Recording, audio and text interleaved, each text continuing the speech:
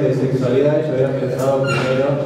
en jugar con las palabras, trabajar sobre las identidades, subjetividades bi y jugar con el tema bi, pero no voy a hacer eso, voy a hablar de otra cosa, que es eh, pensar en clave bicentenario estos temas de género y sexualidad. Eh, en 10 minutos pensar 200 años temas así grandes, pero bueno. Eh, voy a empezar eh, recordando un fragmento de una canción de María Elena Walsh que se llama Orquesta de Señoritas, donde la que dice, quien no fue mujer ni trabajador piensa que el de ayer fue un tiempo mejor, compás de la nostalgia hoy bailamos por error. En relación con ese fragmento del poema, eh, como el trabajo y el género, las cuestiones de la mesa y la, yo no no las pienso, pienso que no son pensables como cuestiones de actitudes individuales, de onda, de prejuicios, sino eh, de otra manera. Y creo que esto tiene que ver con el papel nuestro como intelectuales de la universidad pública en el doble plano del que voy a hablar, que es el plano político y el plano de cómo hacer buenas ciencias sociales. En el caso de mío, digamos, soy investigador en ciencias sociales. Pero creo que en ese doble plano de la política y del hacer de las ciencias sociales reducir estos temas que fueron ya evocados por mis colegas en clave individualista no es eh, útil ni políticamente ni para hacer buenas ciencias sociales. Eh, por el contrario, pienso que eh, el tema de las identidades, las subjetividades y la diversidad cultural son pensables y actuables políticamente en una doble clave, estructural y en clave histórica. Es decir, sustraerlos de la estructura social, de la estructura del conflicto y sustraerlos del largo proceso o, más corto proceso histórico, despolitizan en un sentido fuerte y además hacen más débil y menos buena la ciencia social cuando queremos dar cuenta de cualquiera de estas cuestiones o fenómenos. Eh, y esto, bueno, pensar el Bicentenario nos da un marco temporal de 200 años y es una buena excusa para poder ir hacia atrás en el caso mío para ver eh, en esa clave. También le da una excusa lo del Foro del Bicentenario en su visión tucumana. En Tucumán hoy está presa una mujer por cuestiones relativas al aborto, una mujer que se, la denomina Belén, es decir, en el pleno momento del festejo tucumano hay una mujer presa eh, de manera injusta, por la cual también eh, muchos pedimos que la dejen en paz y eso también muestra una matriz sexista que tiene 200 años y más, una matriz en la cual las mujeres no son capaces de decidir acerca de sus propias vidas y son otros los que deciden por ellas. Bueno, dicho todo esto, eh, la idea entonces es hacer un recorrido rápido de 200 años en esta, como una invitación a pensar en clave política, en clave de ciencias sociales, eh, género y sexualidad, que son los temas que trabajo con varios y varias de los que están aquí. 200 años. Y voy a usar, eh, yo tengo un PowerPoint,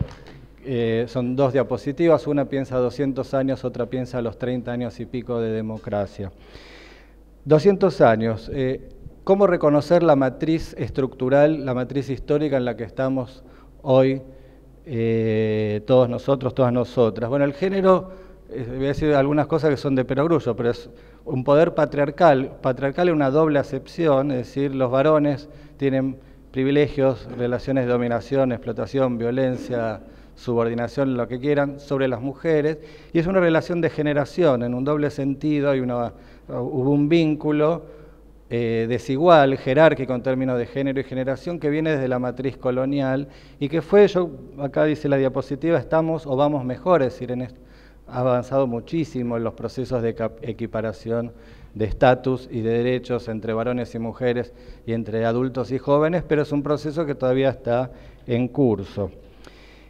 Segunda línea de mi diapositiva, la matriz sexual de nuestra sociedad y de nuestro Estado. Y acá voy a hacer referencia a algunas de las cosas que trajo Alejandro.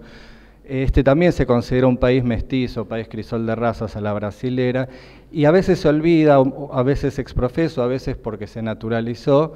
esta matriz no solo interracial del, mestizaje, sino la matriz a la vez violenta y a la vez sexual que da origen al mestizaje. El mestizaje no es cualquier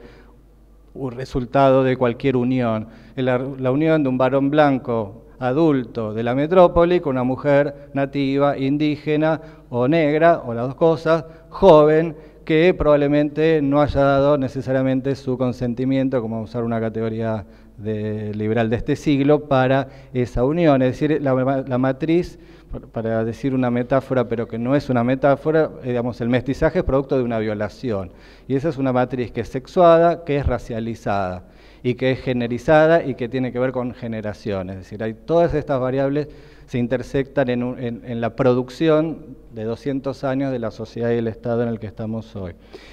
Eh, por cuestión de rapidez, voy a pasar rápido, la idea de que esta matriz es sexual, es genérica y es profundamente racializada, tiene que ver con la construcción de las etnias, de las razas, también de la manera, no solo de las lenguas, por, supuesto hay una lengua eh, opresora o, hegemónica, el castellano, pero también hasta los tonos, los acentos, digo, decir, no, hay que irse ya a las lenguas eh,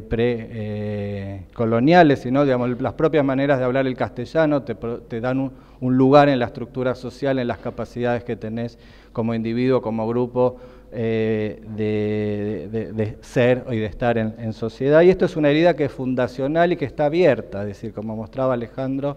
y, esos intentos como algún, algún tipo de legislación para revertir la situación, es una matriz que está y que, es constitutiva. Eh, y en este sentido también para, para, para invitar también, bueno, la idea de la migración no es solo una cuestión, como decían, de tolerancia o de, o de buena onda con la migrante o el migrante. Hay una matriz estructural que si no se modifica o si se mantiene, es eh, una matriz de exclusión que excluye del derecho a tener derechos, del derecho a la participación en la ciudadanía. Entonces, resumiendo esta diapositiva, la invitación es a pensar cualquiera de los temas los que yo trabajo siempre se piensa no discriminar a las mujeres como una cuestión de eh, Tinelli que les hace ponerlas desnudas en la televisión y eso es una actitud machista y no ver que lo importante quizás eso para mí, diría yo, no es un problema, directo, al contrario, hasta puede ser simpático, el, problema es esa matriz estructural de subordinación de género que a veces es menos visible respecto de otros caracteres, caracteres estructurales del Estado como que es capitalista, es decir, hay una relación inherentemente conflictiva de opresión y dominación de una clase sobre otras clases, pero también es una estructura que es inherentemente jerárquica de género, privilegia un género sobre otro género y privilegia modos de vivir el género y la sexualidad sobre otros géneros, lo que la jerga se dice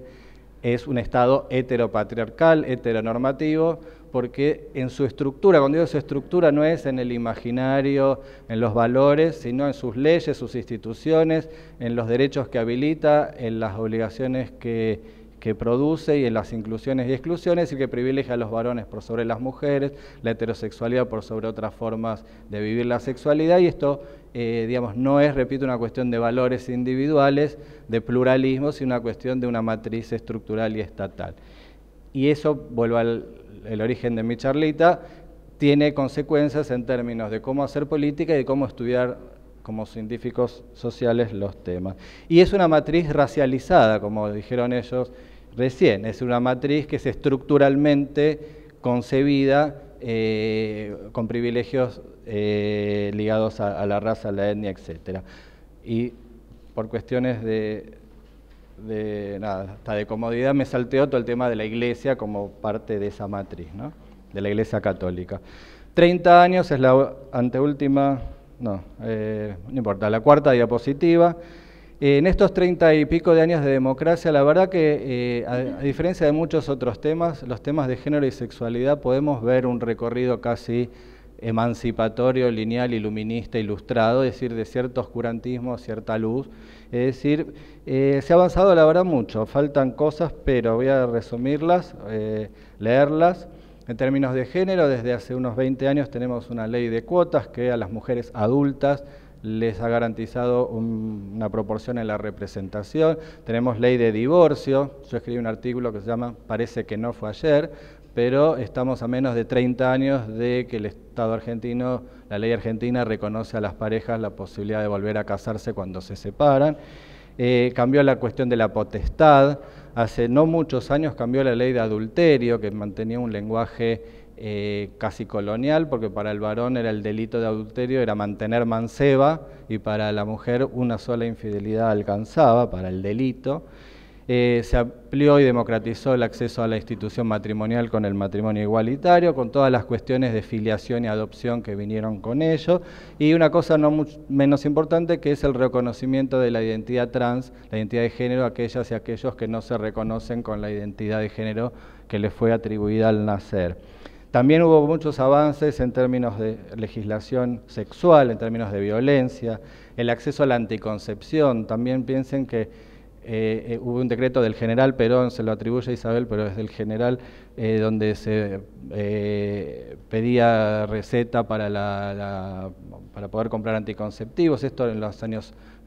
de la vuelta de la democracia se, se volvió a sacar esta, esta restricción, pero sin embargo, por ejemplo, la ley de acceso a la anticoncepción hormonal de emergencia, la, quirúrgica, o sea, ligadura y vasectomía, hubo que esperar al año 2006. La ley de salud sexual y reproductiva fue del año 2002, si no me equivoco, casi 20 años después de democracia para tener una ley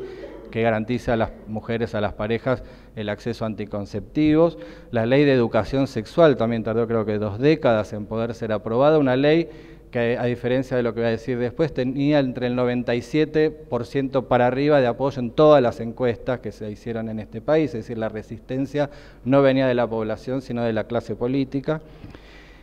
Y acá viene el tema que es la duda pendiente principal, más grave y más inentendible, que es el tema del aborto, es decir, que todavía el Estado argentino no le reconoce a las mujeres la capacidad de decidir y les dice que deben ir presas si interrumpen un embarazo, si no es porque fueron violadas o porque está en riesgo su salud o su vida. Es decir, eso es un, y yo por eso hablo de matriz estructural, no es un equilibrio, eh, digamos, una situación que... Eh, naturalizada, es una institución de una violencia hacia las mujeres por parte de nuestro Estado y que tiene eh, varias décadas y años. Eh, y por supuesto todo esto me, eh, atravesado por la racialización y que no lo voy a mencionar por un tema de, de tiempo. Y acá sí voy a alertar, mientras hablaba sobre los temas migratorios, y cómo la matriz, la cuestión migratoria no es solo una cuestión de eh, extranjeros que vienen, sino que forman parte de, manera estructural de un modo de organizar el planeta, de un modo de organizar la fuerza de trabajo,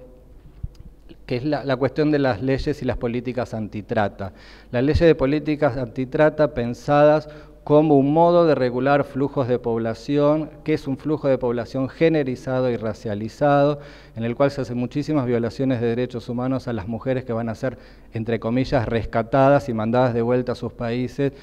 y no pensado esto como un tema de migración laboral que afecta particularmente a una clase, a mujeres de determinadas clases sociales, de, determinados de determinadas razas, de determinados lugares del mundo y pensar como la, trata desde una industria del rescate,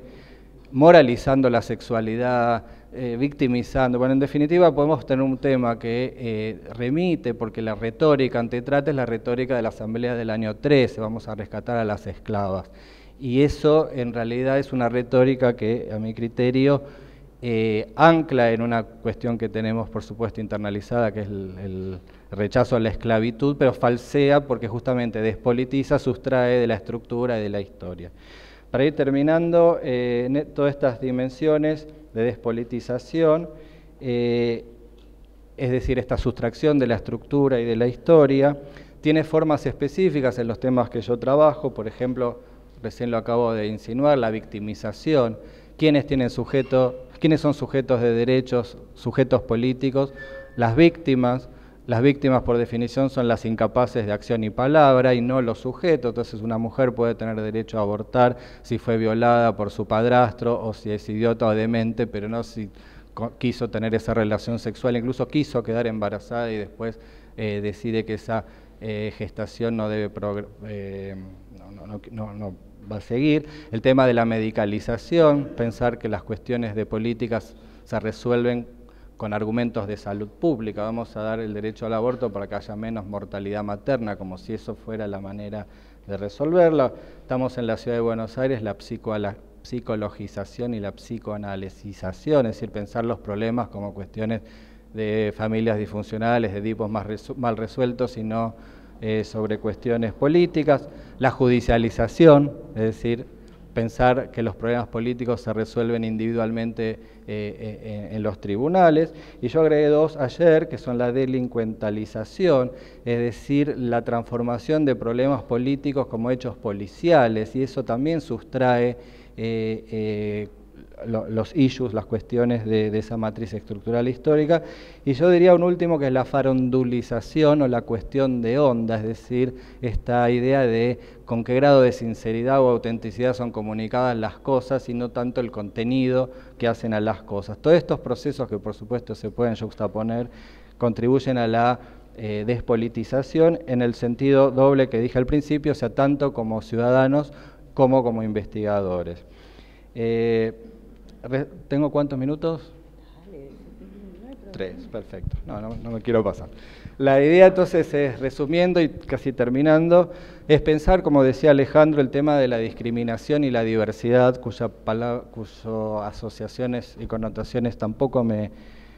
me encantan. Eh, pensar la diversidad genérica, sexual y de generación en términos de desigualdad estructural e histórica es decir, la discriminación como producto de y como produciendo esta estructura social heteronormativa, jerárquica en términos de género, sexualidad y generación y estatus migratorio eh, y racializado. Pensar al Estado en esta matriz que no es solo una matriz de clase, que incluso esa a veces se olvida, sino en esta matriz colonial, capitalista y patriarcal, y cuestionar la diversidad y su reconocimiento como una grilla liberal e individualista de abordaje. Es decir, el cuestionamiento mío es al pensar la discriminación desde un individualismo metodológico en lo sociológico y desde esta onda de vamos a sensibilizar a la población para que quieran a los otros diferentes eh, como si fuera un tema de actitud. Eh, conclusión, nuestro papel como intelectuales de una universidad pública, esto no es menor, que seamos intelectuales y que seamos de la universidad pública, es después de haber dicho todas estas cuestiones, pensar concretamente en las mediaciones. Un solo ejemplo, trabajo salud, las personas pobres tienen más probabilidad de tener tuberculosis que las no pobres. Pero la pobreza no transmite la tuberculosis, la tuberculosis depende del vacilo de Koch. Entonces, ver qué es lo que pasa entre la pobreza y la infección por la de tuberculosis, cuáles son las matrices y las mediaciones perdón, en esas matrices estructurales que uno pueda detectar súper eh, claramente una correlación entre eh, nivel socioeconómico y una infección, o por qué los varones gays tienen más VIH que los no gays, o por qué las mujeres más jóvenes se mueren más de aborto que las no jóvenes. Y la juventud no te hace más vulnerable a morir de aborto, tiene que ver con el acceso a recursos eh, materiales, simbólicos, etc. Eh, y la pregunta de las mediaciones, desde nuestro lugar como investigadores y como ciudadanos, es fundamental para plantear la pregunta del qué hacer, eh, con quiénes hacer, para qué. Eh, y en este sentido, eh, no solo, y no porque estemos en un contexto liberal, neoliberal, nos tenemos que preocupar de que lo que hagamos sea eficaz, sino desde un lugar ciudadano, en un lugar desde, desde el Estado. Es decir, si no vemos, si nos quedamos en un plano medio de abstracción, probablemente lo que hagamos, nada, que sea vacuo. Entonces, en este sentido, propongo o invito o digo, qué sé yo, que nuestro papel es aportar datos y aportar argumentos para poder pensar políticamente y científicamente eh, y, revalorizar y repensar qué entendemos por evidencia. Acá hablo desde el titular de Sociología de la Salud. La idea es que la medicina buena es la medicina basada en evidencia, no en intuiciones o en, me parece. Y esta idea de medicina basada en la evidencia y política basada en la evidencia cuestiona la propia idea de evidencia. La evidencia no es la evidencia cuantificable, positivista solamente, sino también esta evidencia eh, basada en narrativas, en descripciones etnográficas, en esta clave que hablé al principio, es decir, eh, inserta en esa clave de producción histórica y estructural. Bueno, con esto termino y gracias.